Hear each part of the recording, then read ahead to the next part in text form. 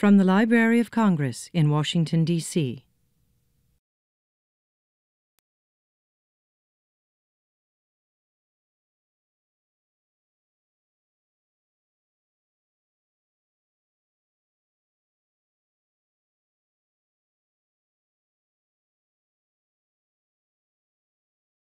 Good evening, everybody. Um, we're so pleased to have you here for this very exciting concert tonight. Um, I'm here with three amazing musicians that you'll get to hear doing lots of different things, lots of different types of music, um, just kind of in extraordinary ways. Um, they're with the ensemble Either Or, and we have uh, Taka Kigawa, uh, Richard Carrick, who's a director and conductor, and also rep- represented as a composer tonight, and then uh, Jennifer Choi. And so um, please join me in welcoming them. Thank you. Thank you. So I think the first question that I have is the one that's on all of our minds. Is it either either or either or? It's either way you'd like to say. if that gives you a hint. Excellent. Uh, How did, uh, could you say just a little bit about how the ensemble came together and Oh, sure. Uh, so the ensemble we started in 2004. It's co-directed by David Shively, a fabulous percussionist and curator who's not here tonight. Uh, but um, we started the group quite small, with three musicians, and we were really we had moved back to New York. We were in UCSD, San Diego, doing our PhD in DMAs. And when we moved back to New York, I, I had lived in New York before, and I was not necessarily always hearing the music I wanted to hear. And I thought, well, let's just start playing some of the stuff that we don't hear that often in New York. And that was the, that was the beginning of the group. And, and David and I worked very closely to kind of develop this strange um, repertoire that we've been developing. And as, the, as we kept going, the group got bigger and we were able to do um, larger shows and very fortunate to be able to bring on these incredible musicians. Um, you've been, Jennifer Choi's been with us for 10 years now. We're very excited. That's right. Yeah. This is the 10 year anniversary. I'm really excited. And also, uh, it's been 17 years since the first time I played at the Library of Congress, too. So I'm feeling really special today, like extremely special. and what did you do when you were here before? Um, that was the there was a John Zorn uh, portrait. I don't know if any of you were here then, but uh, it was 19, it was was it 1999 or 2000? I think it was 2000. But um, and we played the the violin piano duo Le Momo. Were you here for that? Oh, wow. So, hello again. That's great. You've got a dedicated audience. Yes, it's amazing. That's so it's a really special day for me. Fantastic. And then Taka, you, you must have joined like about Uh, five. comparing to Jennifer, I'm kind of new, just, just uh, two or three years, very new. But we're very happy, and Taka's been amazing as a chamber musician and also as a soloist, which you'll get to hear tonight, and Jennifer also a fabulous soloist. So the group kind of keeps growing, and now we do um, mixed concerts, either with um, conducted chamber ensemble, small chamber orchestra size, as well as um, pretty intense kind of chamber music. So you'll hear a little bit of both tonight. I think that's one of the fascinating things about this evening. I think you'll agree with me after you hear it. Um, is that there's this great variety of instrumentation and types of music that you'll hear, um, but it actually coheres, I think, really well. Um, I'm assuming that's just because of great programming, but um, so that, but it's uh, really something. And we'll, I thought we could maybe talk a bit about the program, and uh, you know, just kind of get into each piece a little bit. Maybe starting with the first one, the Braxton. Um, I understand that that's been quite an experience to put it together. Um, uh, a lot of uh, you know, people assume that you just look at it. Uh, if, if you're not a musician, maybe you just have a score in front of you and you use that as a as a way to get you know translate from what you see on the page to uh, how you play, and that that is still what you do, kind of. But what's different about it with the Braxton? Yeah, well, first of all, I'd like to point out that the, the score is actually here. So I really encourage all of you, before you walk into the concert, to please look at the Anthony Braxton score. There's also the, some of the Ligeti. But the Braxton score in particular is probably something you haven't seen before. Um, it- because he invented it all. It's amazing this guy how he he comes he comes from it from a performer's perspective, from an intellectual perspective, from a sound perspective, and from a, a game almost kind of like um, improvising perspective. And you see that in the score. Um, so, did you want to say a little bit about the score? Uh, sure. So this is his composition number 222, and um, he he wrote this in 1995, and it was it was after he was he went to a course on Native American music. So he he called it the ghost trance music. This this particular piece. And um, he, he was really interested in the ritual um, dance music and music for other purposes than just in the concert hall. So he's going for that. And then there's specific symbols like circles and triangles and squares that come out of a note head. And that's where we're supposed to start improvising. And then we have to find each other also in the score out of that and come back to the ghost trance. So the piece actually could go on for about 24 hours. we have to do it today in like 10 minutes or something like that.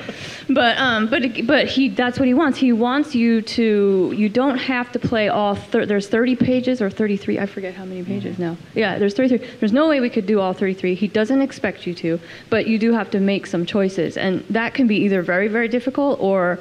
Well, I actually think that's difficult to, uh, to to make these choices with the material that's given, but that's what we had to do. Yeah, and one of the things he does is he sets up many paradigms. So you can you can pick and choose at different points what you want to do, but you don't know what the other person is going to do. And for example, there's a symbol which is a circle. He might attach it to a note. But then there's also a symbol which is a triangle, and there's a symbol that's a square. They all look pretty similar, right? But the circle means you improvise. The triangle means you stop playing that piece and you immediately go to another piece that he's written in composition 222. And the square means you can stop playing that piece and immediately play any other piece he has written. so, it's pretty open. Um, and actually, in the in the case, uh, there is the score of the tertiary material. It's numbered one, two, three, and four. So those are more um, specific, and he wants you to go through them like uh, note by note. So we do. We we chose. I'll just give you uh, the secret in, but we chose two of them to play tonight, not all four. you can guess which two, but they're all displayed there in the cabinet, which is nice. So if you can go to these other pieces, um, does he do anything special with the clefs or something? Or can you just pick any line from those pieces, or? Yeah, he's um, he believes that all all of his music can be played on all instruments at any time. So he's got this really interesting synthesis. Braxton comes from many traditions. You know, you, some of you are probably thinking, oh, this this relates to Cage in a way. The improvisation thing might come out of a jazz tradition. Um, Stockhausen was a big influence on him, and he cites that in a number of examples. So he's really um, going deeper with a lot of these ideas that were around when he was performing. He's an incredible musician, and um, and and he would just kind of put them all together in this unique way. So, how do you notate for any instrument at any time? So you still use the five-line staff, but he uses his own clef and you can uh, you can do it in treble clef. You can do it in bass clef. You can do it in treble clef three octaves higher or lower. You can do it in alto clef. You can switch from one note to tenor to soprano to alto clef. And, and the, uh, that's called the diamond clef, and you'll see the diamond, right? And he also does that with accidentals. He has a star accidental. It could be a flat, it could be a natural, it could be a sharp. and we don't know what each other are going to do. Do you find that you play it differently as you're doing it, or do you do some mapping and some spontaneous choices? Or Uh, yes um, and no.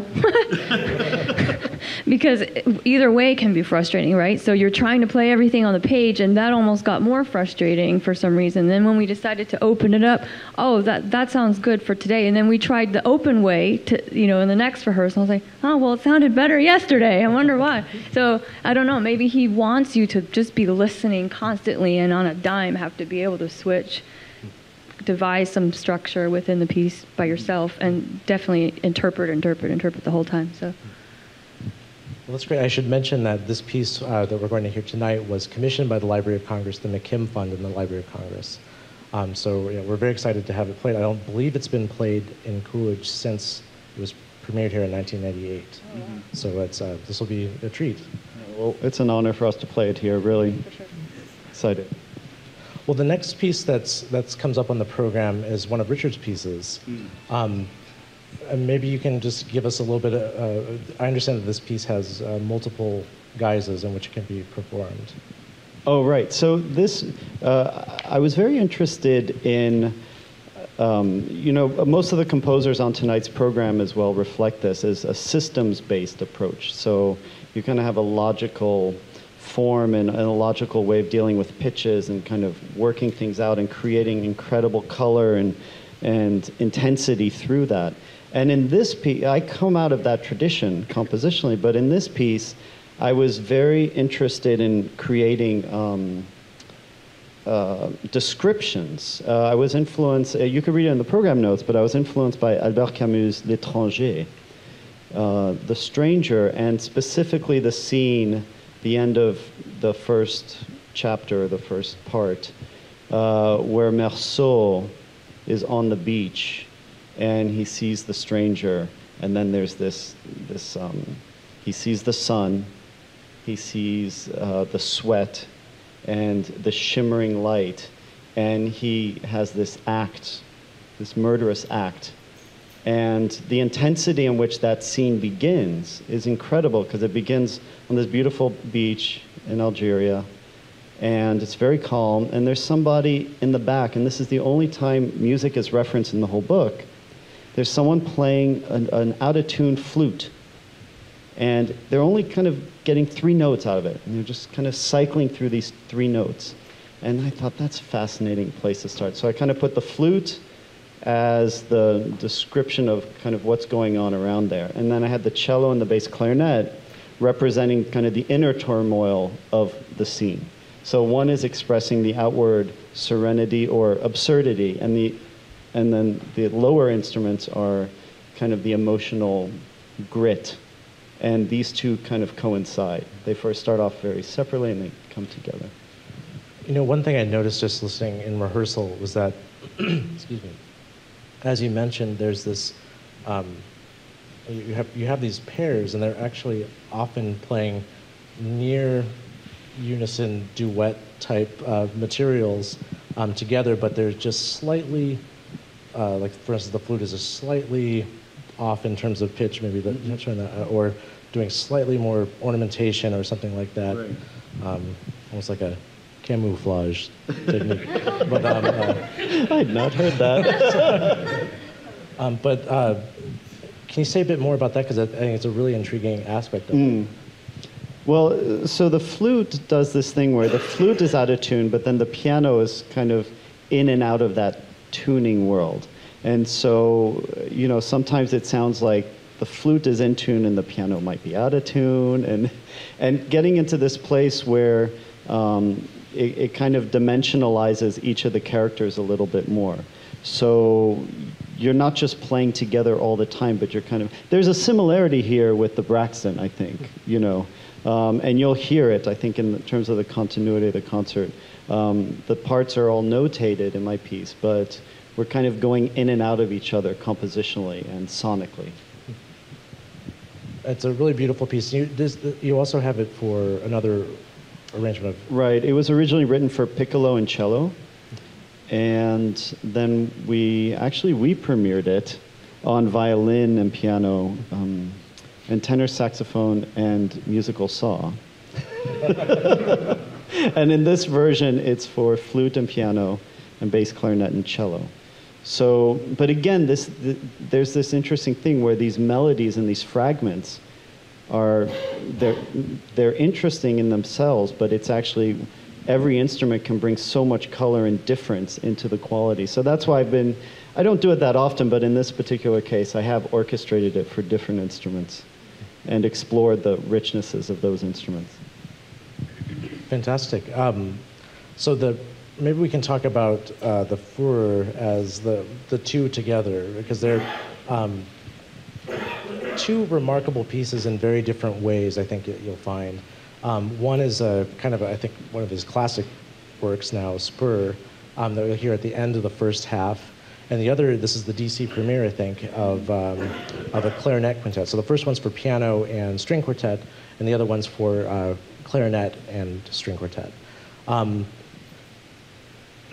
there's a lot to say about these pieces, but um, maybe one thing that strikes me is that although they're very different, the first one's almost full of frenetic activity and energy. Um, the second one doesn't seem to be at first, but yet there's this kind of latent energy in both that. So maybe you can speak about what it's like to perform these pieces. Taka, you want to say something about Spur? Well, we could, uh, starting off by saying something about Spur. Um, Spur is a piece where the piano part is rapid 30 second notes throughout. And the string quartet are also kind of the, this dual personality. They're completely integrated, but they almost never play exactly the same. It's, it's, it's incredibly difficult because, uh, you know, normally you have downbeats together or something like that, and he doesn't do that in this piece. Um, so it's kind of meta listening, I think, is happening here. Yeah, and it's, it's also interesting to know that he put specifically spur for piano and string quartet. He didn't put for piano quintet. So piano and string quartet playing together, but I always feel like when on the performance or rehearsing, where am I? Uh, am I playing with the string quartet or very string quartet, those four boys and girls playing here, but I'm like here. we are together, but at the same time not together. Very peculiar experience anytime. Yeah. Sometimes I feel like when discussing string string quartet players discussing phrasing or rhythm, I feel like I'm nowhere. I, I feel so helpless. But at the same time, we are really playing together. So very strange feeling. So if you were off, it would definitely feel off. So it's like Yeah. one of those things where you have to be exactly on for it to feel correctly off. Exactly. Yeah. Exactly. Very, very, very. and I think that's that's how he works. Um, we, we had a, uh, each of us has had a opportunity to work with him on a different level.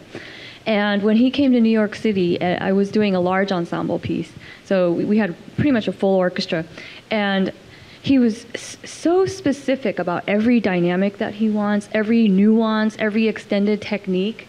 And I was sitting, I think, somewhere in the back of the first violin, somewhere, the very back. And he's listening from kind of inside the orchestra. And he said, Okay, everybody stop. And he pointed me out. And he said, You're playing too loud. it was like, well, everything was supposed to be P, P, or PPP, or PPP, whatever.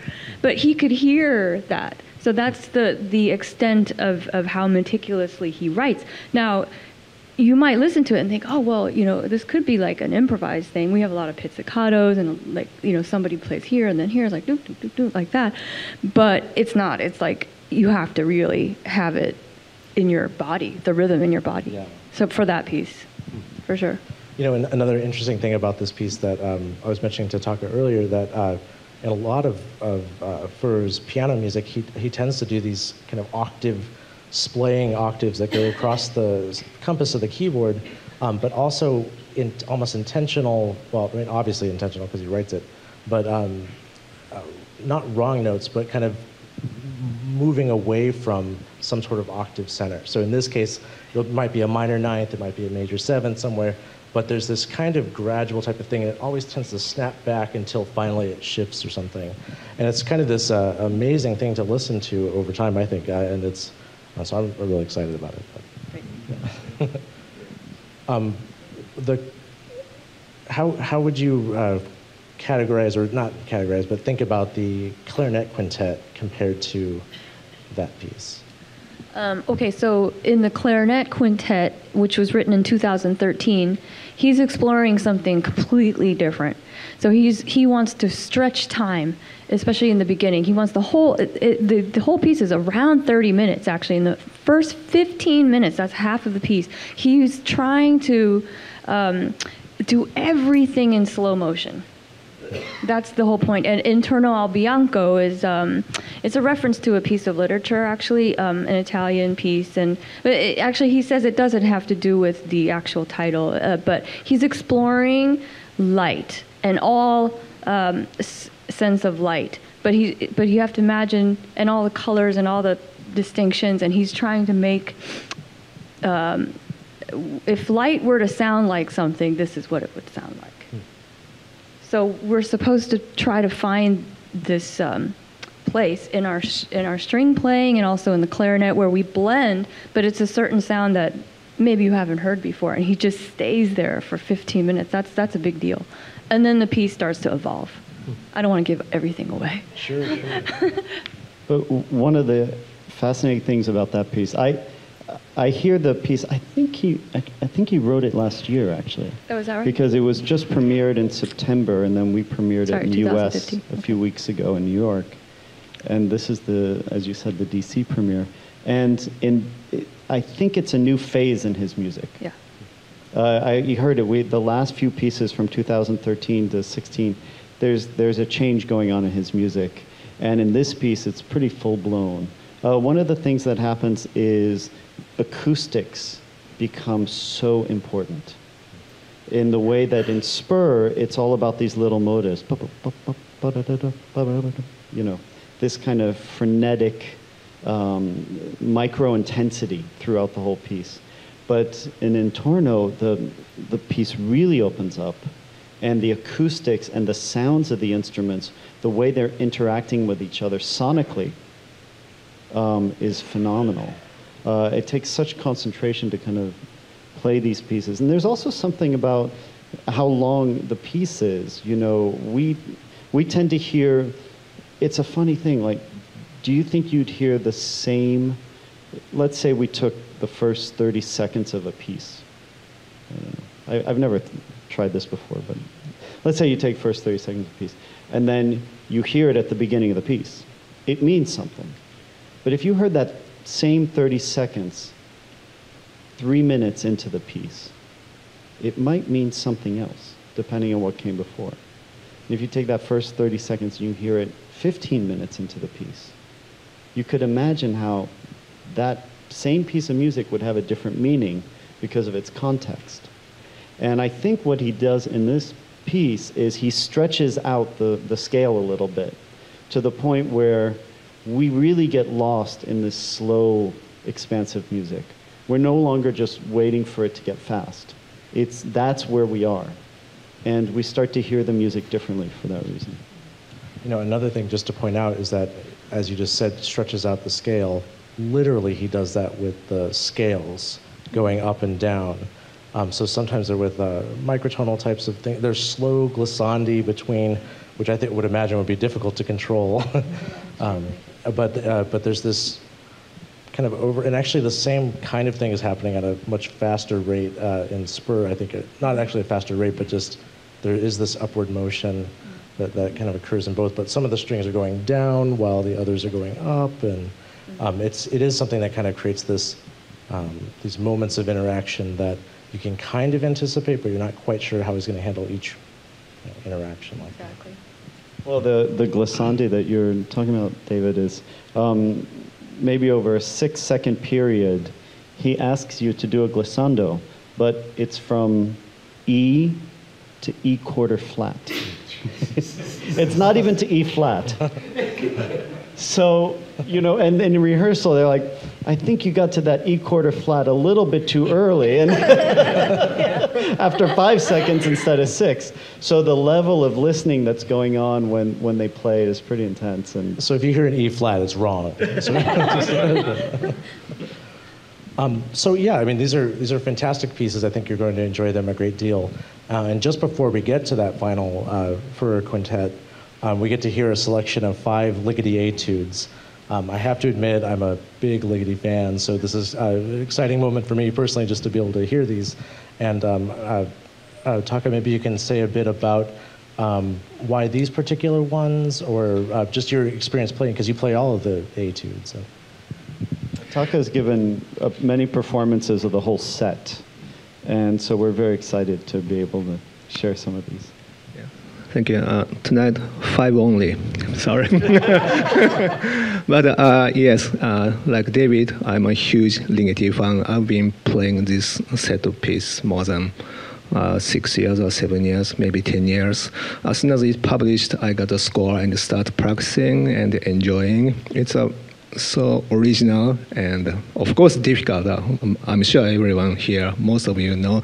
At the same time, very fun, very rewarding, very good musical experiment. Just to practice for yourself and uh, performance in public like a festival to me.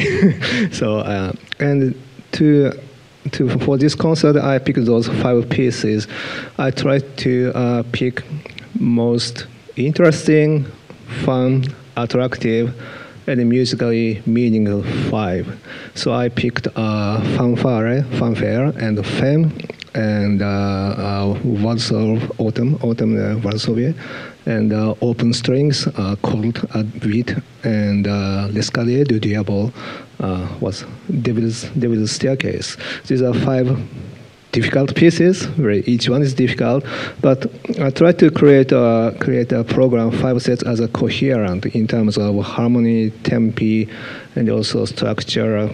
So that's how I chose those five pieces. So one thing I can say that's maybe at least what I hear from a, a surface level is that the first and the fifth have a lot to do with upward scales. Mm-hmm. Uh, the second and the fourth really emphasize the fifth. Yes. Not the fifth piece, but the interval. Yeah, it's an interval. Yeah. And then that middle one is just one of the great ones, and that's the more descending scale. Yes, all, all chromatic descending. Yeah. And also polyrhythm, it's a very important factor when it comes to ligeti. So right hand playing this rhythm, ta, pa, pa, pa, left hand, ta, ta, ta, ta, ta, and both hands, ta, ta, ta, ta, ta, ta, ta, ta, ta. So lots of rhythms are going on at the same time. That's one of the, the most... layers are it's it's Incredible, because you hear these distinctive scales going down, but to, to imagine playing them and controlling those Mm. is, is quite something. So very original kind of rhythmic uh, you know, management. Right. I, mem- I mentioned to um, Richard when we were first talking about this that um, when I first uh, just got the music just to take a look at it the, of the first book, it was all um, it was the facsimile of the handwritten manuscript. When you learned these, did you learn from Yes, the manuscript. version? Yes. So I, I literally use a magnifier because his handwriting is very, very small and not so easy to read. So Well, he Yeah. was one of the composers who I, I don't think anyone had a ruler, and like when he he never used a ruler, so every stem kind of looked like a note as well. It was incredibly Yeah, yeah. incredibly challenging very music. to- challenging. and to- tiny, like you said. It was- exactly. yeah. wow. So do you still use uh, that? Oh music? no, I, I'm using a printed out. I mean, yeah, yeah. Just like you can see at the hallway. Yeah. But there's something about reading from manuscript. You you get a different you get the composer's intent. Yeah. You know the way where they where they put symbols, um, the closer they put it to a note, or how they indicate important moments. Uh, you get that from the manuscript, and then when it's engraved, you might or might not get it. So having started with the manuscript, um, it's usually more work, but it's often more rewarding in terms of um, figuring out your own personal interpretation, because you have to not only play these notes, but you have to internalize them, and that's where the interpretation comes from. You have to be yourself inside of the score. Oh, by the way, Beat Furrer is still using, uh, I mean, handwriting. He never used a computer. That's right. There's also something about Ligeti in terms of the, well, maybe we're going to get to this in a second, but in terms of the program. Um, because I guess his pieces are probably the oldest pieces, but in some ways I feel like Ligeti's music has, you see his effects as a master composer, as someone, I, I think in different ways kind of influenced everyone else on the program hmm. you know, very interesting because you, you hear the kind of perpetual rhythmic quality in the Braxton. Um, you uh, we haven't spoken about her yet, but I think she was very influenced by his more spatial and, and micropolyphony qualities. Um, and then the Furrer, I think there's so many relationships with the ligeti. So, you know, one of the things uh, to think about when you listen to the concert is like, how are these pieces interrelated? What's, what's a common thread? What isn't? Uh, where do they, they spread apart? I don't know. I, I always find that interesting. So, so in a way, ligeti is a key. well, it could be one of the keys, or Braxton could be one of the keys, you know? yeah. If you see a square, you switch to ligeti really quickly. but I, I, didn't. I inadvertently skipped over um, the piece "Row." Um, you guys should consider changing your name to either "Row" for that one, but if you only if you play it backwards. But um, maybe you can say a little bit about uh, this piece because while it is um, a, a, different sort of work on the program. It does, as you say, uh, when you just mentioned micropolyphony, um, it has this, again, like kind of this internal energy that's trying to come out of the sound, it seems like, as you're listening to it, even though it has this, um, you know, the title of Serenity and the feeling of that in a sense, there is this kind of energy that's bubbling out of it. Mm. Um, how do you, uh, maybe you can just say a few things. Did you work with the composer at all with this piece? We did. We had the pleasure of um, working with Anna Thorvaldsdottir, who's a young Icelandic composer. And she's currently very busy. She's one of the young composers with the New York Philharmonic. Um, and her music is being performed widely internationally. Um, and we had the pleasure of inviting her to uh, Miller Theater in 2014, where we did a concert of her music and we premiered some of her pieces. And we played this piece and a few other pieces. Uh, and that was really lovely. Uh, she's a great person to work with. And one of the things about this piece is you'll hear it's, it's called Serenity. So there's some music in there that is very serene. But then there's, she also gives you other things to kind of poke around and, and put, put that in context. So there's this kind of um, a shadow of expressivity that happens in the music, I feel like. You know, so she's creating a stillness, but she's also alluding to something else. And then there are these really interesting things happening with the percussion and the piano. I won't give it away because you will see it. and in the beautiful hall here, you will hear it beautifully. Um, but it also sets you up for, um, you know, it's, it's a piece that you, you might ask yourself while you're listening to it, what am I feeling? Am I, am, I feeling serenity? Am I experiencing serenity? Is this piece alluding to an imagined serenity? Or is this piece just referencing her state of mind when she wrote it? You know, this is, these are all interesting questions when you can listen. And this is a piece you can really kind of um, have your mind focused on how the music is is speaking to you. You know, I, I don't want to. I hope I'm not giving away one of the things that you're mentioning, but um, I was speaking with Russell a little bit about the about the percussion and the poetic uh, use of wood. Mm-hmm. Um, um, but one of the things that, um, which you'll see, um, well, one of the, it's a beautiful uh, way to use it. And one of the things that she, he, that she uh, was very specific about was the type of mallet that you'd be using with each of these uh, maybe unusual instruments as well. And so there's this um, great level of detail that comes into play. Um, but uh, the overall effect, it's like you have this combination of, of uh, things happening at that um, low level and also at that broader level. And it's, and like you say, it's that you attend to different things just depending on your state of mind, maybe, or something. Um, well, before we get to some questions from the audience, um, maybe you can say a bit about what you might be up to next, like what's what's next on the agenda for the ensemble and individually. No, sure. Um, well, we're constantly evolving as a group and always uh, looking to do programs and work with composers and venues that kind of put us in a new place. You know, so um, we're working with um, a Swedish um, Dutch composer in April. We'll be flying to Sweden next month. A few of us are going, and we're perform- premiering his big piece there with another group there called Ensemble Sun. And then we're coming back to New York in April. Um, and uh, that's kind of the, the next thing. But you know, the group, um, we have, the, the, the core of the group is actually the fact that we have these incredible soloists. Um, it's not just chamber music, it's chamber music made with soloists, and, and we're really excited about that kind of energy. So we're, we're all kind of doing many different projects. You've, you've got a concert here tomorrow, don't you? Uh, yeah, but that's a different situation at the National Gallery. Um, uh, Some yeah. of you may be going already to that, I bet. Oh, Yes. yes, Yeah. another composer, Tamar Muskal, um, and she wrote a piece for uh, that goes along with a black and white film, and so we're playing live string quartet with voice. Um, uh, it's going to be really fun, I think.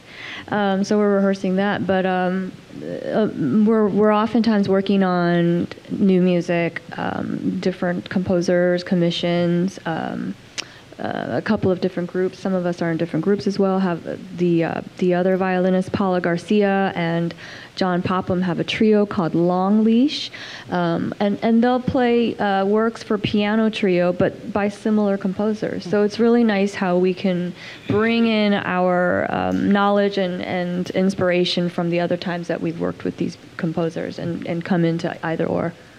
Um, I guess I would say we have a number of recordings, and uh, we just released a few recordings. One with Anthony Coleman, um, which came out earlier this year on New World Records, and Elliott Sharp. We're on his latest CD as well. Uh, my CD came out last year with a recording of that, and so we've been pretty active and really fortunate to be able to put this stuff down in some sort of. And one other, uh, we worked with uh, Miya Masaoka, who's um, the the uh, composer and um, performer as well. And she's married to George Lewis, who is also part of the AACM. And uh, either either or is going to be performing her work in March at National Sawdust. So that should be pretty exciting. That's the new venue in Brooklyn. Woo, woo, Fantastic. woo. Yeah. Taka, what about you? You ha- What's your next? Are you going to tackle?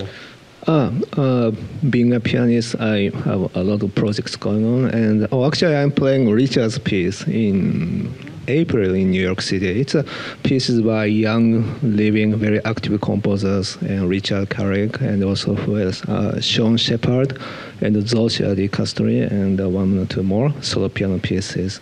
That's my next new music project, and I also I'm uh, revisiting Messiaen, Braz Catalan, big pieces.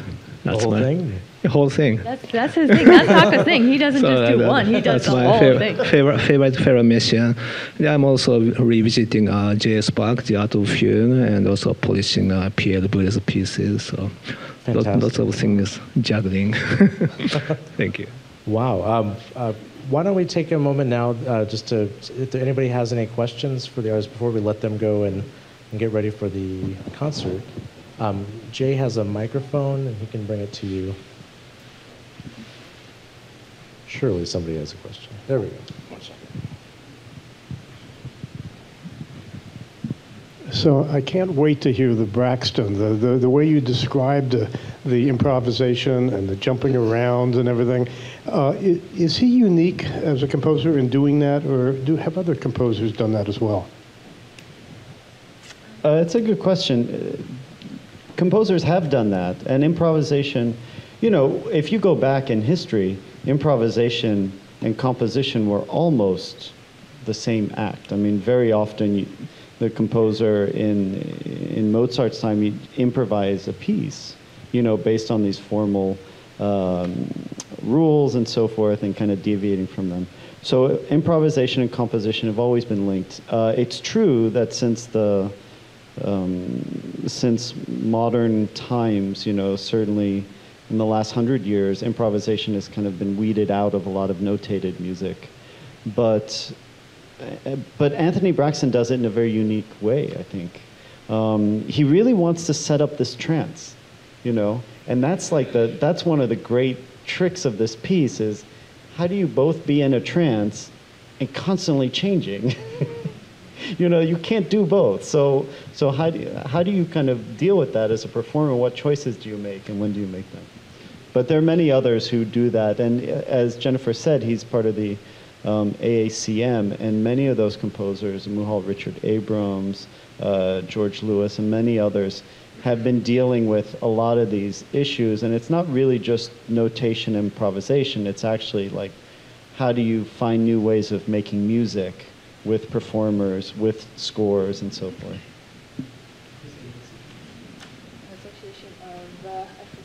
the Association of Advancement of Creative Musicians. So, and they were they were based out of Chicago. Um, and actually, to answer your question further, I, I had the opportunity to work with four of these amazing, the founding musicians. So, Wadada Leo Smith on the trumpet, um, uh, Leroy Jenkins, George Lewis, and Anthony Braxton. And having seen all of their scores, it's just so amazing how unique each one of them. They come from the same generation. Um, Chicago, 1960s. This is when they formed, um, and they really wanted to. They didn't want to play just jazz. In fact, some of them didn't even have formal jazz training. Not all of them did. So so it's amazing that each of them came up with completely different systems of doing so, of, of how to do this sort of quasi structured improv notated pieces. Um, very distinct, very interesting, but also calling for the musician to definitely improvise and go out and, and explore their own world. One thing I would mention too, if you're interested, that George Lewis actually two years ago wrote a, a biography kind of of the organization. Um, uh, that's quite big, so you can check that out if you want to learn more about It's it. called A Power Stronger Than Itself. No. It's fascinating, yeah.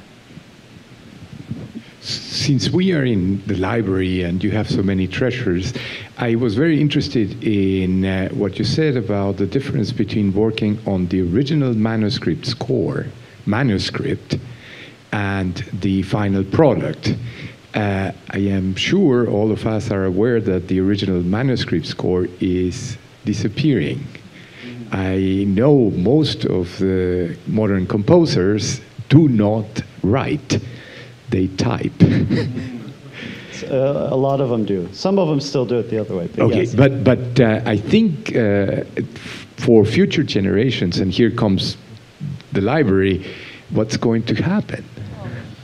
It's a it's a tough question, but there, I would say that there are a number of composers who do still write by hand. So uh, we'll just keep collecting their stuff and ignore the rest. No, just kidding. Uh, um, no, what we it's it's a tricky thing when the library commissions uh, any composer. Part of the condition of the commission is that we receive the original manuscript. So um, in the cases we've and this has been especially in the last ten years, this has been more the case that they've have electronically produced scores. So we, we try to get a unique version of it, and the way that we handle it is we ask for something that's um, before it's been submitted to the publisher for uh, kind of the final uh, revisions. And sometimes composers will give us little extra bits. They'll give us a, um, further revisions they might make after the fact.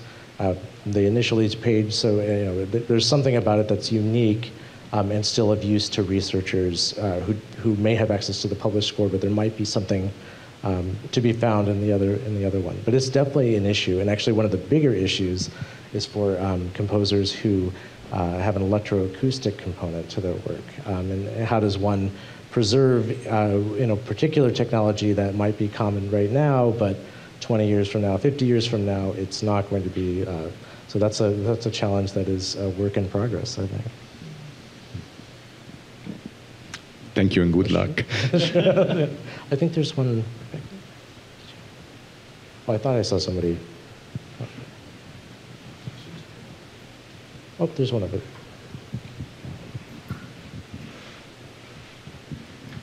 Uh, First, I just want to thank David. Uh, You spoil us with your program notes.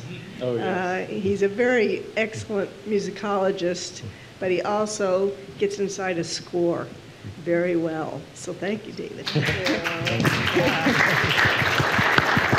And I just want to ask you, as performers of the Braxton and the other pieces that have this improvisatory element, don't you think it's um, about trying to keep it alive, but every performance, the composer's wanting it to be very organic? And this dialogue between audience members and performers and the composer is all wrapped into it. Yeah, absolutely. Um, there's another book I was just reading it just um, just the other day. The it's called Free Improvisation by Derek Bailey. who is just phenomenal. I, I'm so lucky that I had a chance to play with him in New York City uh, before he passed away. But um, he mentions that, like in improv, you, you want to have the audience interaction. You want to feel um, the moment right there. So we can't really predict. That's why you know we started practicing today, and I said, you know what? Let's just see what happens because you need that interaction. It's actually very crucial um, to to know what's going to play out, um, and we could we could feel it, you know. But actually, there there's a um, there's one really good point that Derek uh, Bailey mentions in this book, and he says sometimes you don't want to go with what the audience necessarily wants because that might not be the right move for the music. So there's this little interplay, and you kind of have to feel what's right and wrong at the moment. yeah, it seemed like Derek Bailey. In reading that book, I got the sense that on one hand, he was keenly aware of everything around him, and on the other hand, he had his own internal score that he was kind of creating and that was and that was the tension that created all the incredible you know when you if you ever hear him play i mean you, you weren't sure if he was listening to the other person because he was doing his own things. Then you realize he was listening to everything they were doing but he wasn't trying to imitate the other person. He was trying to create a, a richness from being uh, unique inside that context. Good answers well, I think we should probably uh, let our musicians go and get ready for the concert, but please join me in thanking them, and well, we really appreciate you sharing. Thank you very much. Thank you. It's lovely to be here. This has been a presentation of the Library of Congress. Visit us at loc.gov.